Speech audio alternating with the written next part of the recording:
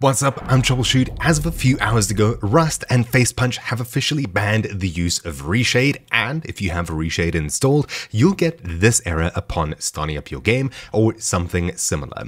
If you get fail to initialize player, fail to initialize graphics, it's likely because you have Reshade installed. This video will show you how to uninstall it from Rust. You'll find this official Facepunch blog post down below with extra info and some steps to remove it, but let's do it the quick and easy way.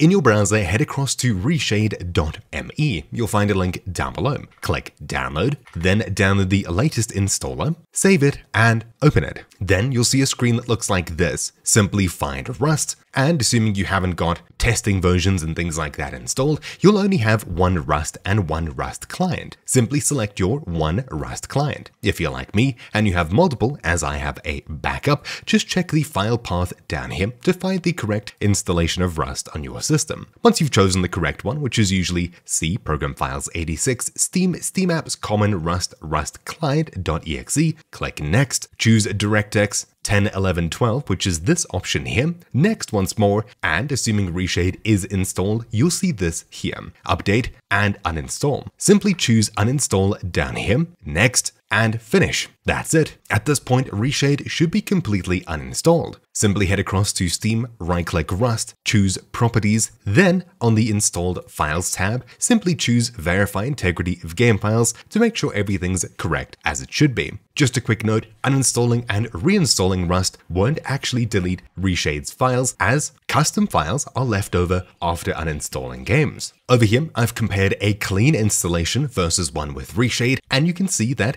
inside of the games folder, reshade-shaders, dxgi.dll, and these three Reshade files here are what's left after a fresh install of Reshade. If we check the Facepunch post, you'll also find a couple more DLLs, which could be in your game directory based on however you installed Reshade. You can choose to delete these files manually, but the easiest way is running the installer and deleting it that way. You shouldn't be banned or punished for starting the game with Reshade installed, it simply won't start at all. So once you follow these simple steps, this error message should have been fixed, and assuming you'd still like to add some more color to your game, either do that directly on your monitor using your physical buttons on your screen, or use something like your graphics card settings where you can customize it in the NVIDIA control panel or some other kind of NVIDIA overlay, same for AMD and Intel. Anyways, that's really it for this super quick guide. Hopefully you found it useful. Thank you for watching. My name's been TroubleChute, and I'll see you all next time. Ciao.